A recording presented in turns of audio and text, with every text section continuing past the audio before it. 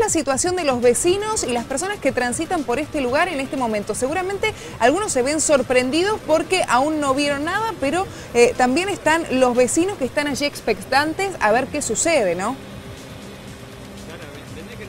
Así es, Yamila. Nosotros ahora estamos en el exterior del edificio. Nos pidieron que por motivos de seguridad nos alejemos de las paredes porque evidentemente el riesgo de derrumbe es inminente. Y como vos me preguntabas, hay mucha gente que se acerca a ver eh, qué es lo que sucede aquí y se acerca incluso a tomar imágenes con los celulares.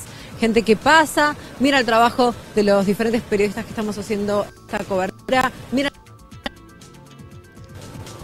Bueno, y, y además intenta ver qué es lo que pasa, qué es lo que va a pasar.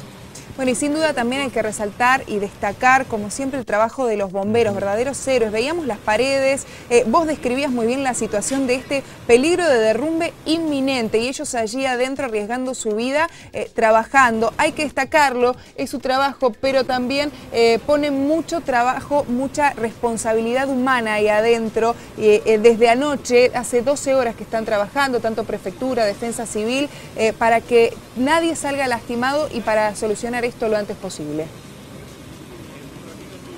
Así es, mira, yo te quiero mostrar en estos momentos, ya está el dron de Canal 10 volviendo a tomar imágenes de este lugar.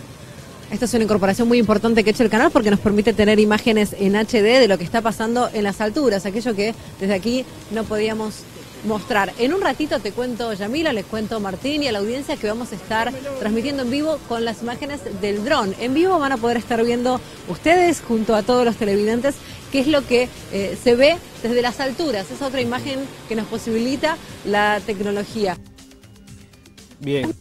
Clara, bueno, eh, seguramente estaremos este, minutos nada más con más detalles del móvil. Lo cierto, veíamos recién eh, las imágenes del incendio, cómo se combatían las llamas, pero también la presencia de muchas personas que se acercan al lugar en estos momentos y eh, en la jornada de ayer, por ejemplo, muchos capturando imágenes. Sí, todo ha llegado en nuestra sección Las Noticias de la Gente. Les agradecemos.